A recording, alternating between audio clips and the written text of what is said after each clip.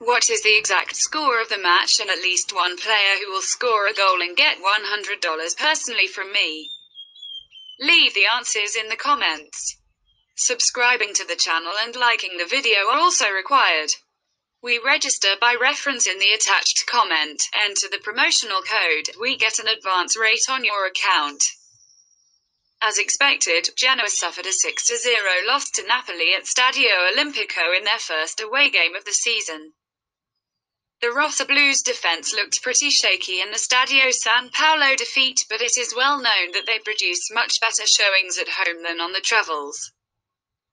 Over the years Genoa have turned their Stadio Luigi Ferraris into a real fortress, and they are surely capable of matching Torino on day three.